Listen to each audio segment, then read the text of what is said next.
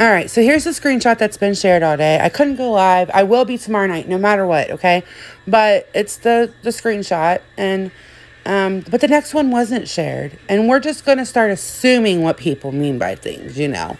So if if we typo, we don't get to explain. We nobody's gonna take our explanation, and we're gonna run with it for our narrative. This one wasn't shared, where Miss Number said, "Okay, obviously, talk to text, but you get the gist." Um, trash, come over here and break my nose.